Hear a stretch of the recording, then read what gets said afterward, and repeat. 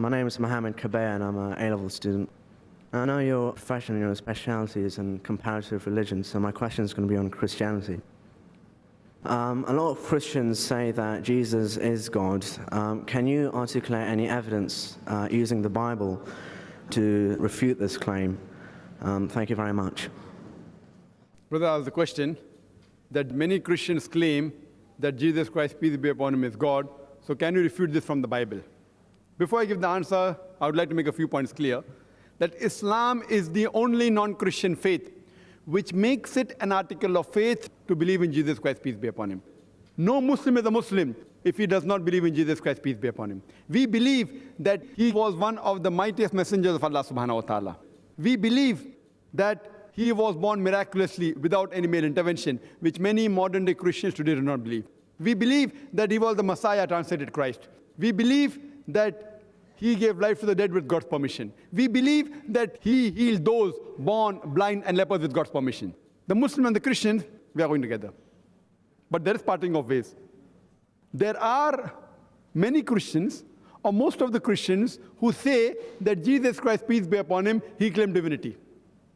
But if we read the Bible, there is not a single unequivocal statement in the complete Bible where Jesus Christ, peace be upon him, himself says that I am God, or where he says, worship me. If anyone, if any Christian can point out to me any single unequivocal statement from anywhere in the Bible, from any version, where Jesus Christ, peace be upon him, himself says unambiguously, unequivocally, that I am God, or where he says, worship me, I am ready to accept Christianity today.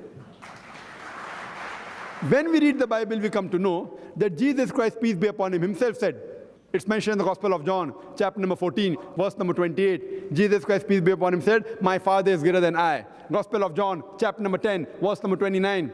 My Father is greater than all. Gospel of Matthew, chapter number 12, verse number 28. I, with the Spirit of God, cast out devils. Gospel of Luke, chapter number 11, verse number 20.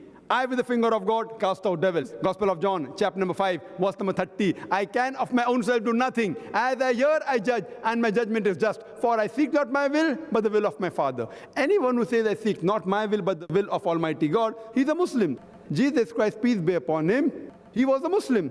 He never claimed divinity. It's clearly mentioned in the Gospel of John, chapter number 14, verse number 24. Jesus Christ, peace be upon him, said that the words that you hear are not mine, but my Father's who has sent me.